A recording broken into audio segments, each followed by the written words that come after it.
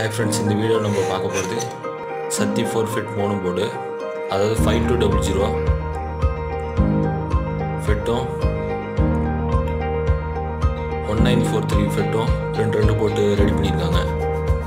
TIP forty one forty two அதெல்லாம் use பண்ணியிருக்காங்க. நல்லாயிருக்கும் இந்த போர்டு ரொம்ப.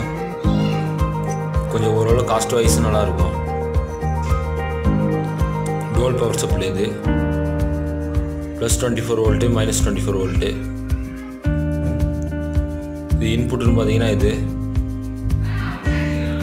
அதாவது சப் ஃப்ரீக்வன்சிலேருந்து வர அவுட்புட்டை வந்து வால்யூம் கண்ட்ரோலில் கொடுத்து இதில் கொடுத்துடணும்.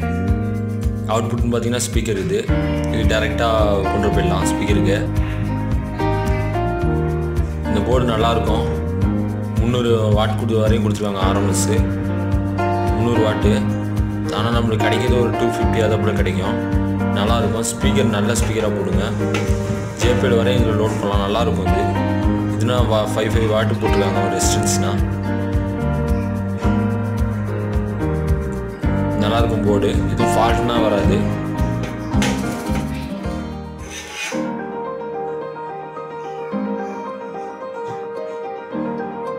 இதுக்கு வர இன்புட்னா எல்லாமே சீல்டு ஒயரே போட்டு கொண்டுருவாங்க.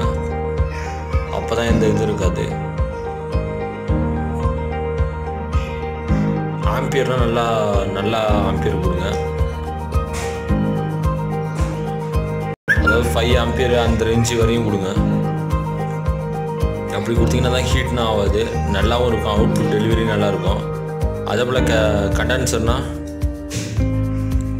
டென் தௌசண்ட் சிக்ஸ்டி த்ரீல நாலு நாள் போட்டு ரெடி பண்ணுங்கள் அப்போ தான் இந்த ஹம்மிங் சவுண்டு எதுவுமே இருக்காது. நல்லாயிருக்கும். நாலு நாள் போட்டால் தான் நல்லாயிருக்கும்.